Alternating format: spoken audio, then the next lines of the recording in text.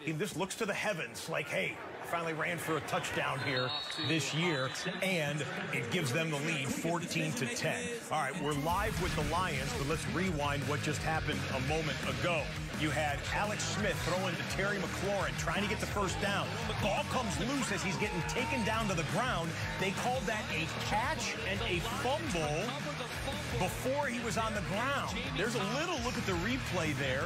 Obviously, it was reviewed, being called a turnover on the field, and the review upheld